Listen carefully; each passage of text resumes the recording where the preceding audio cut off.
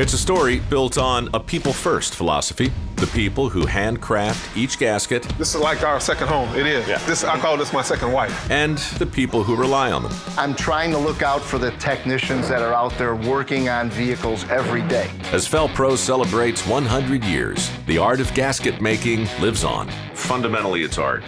It is art. This is the story of Felpro, 100 years in the making.